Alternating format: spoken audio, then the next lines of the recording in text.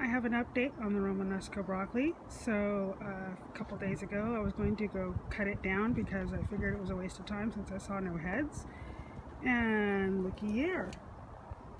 Finally got some heads growing.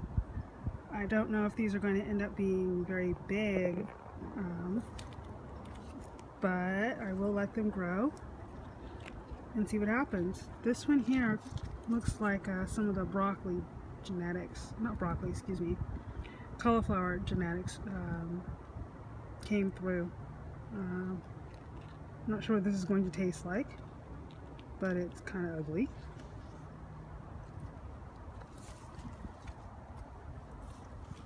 But it looks like all of them have little heads forming now.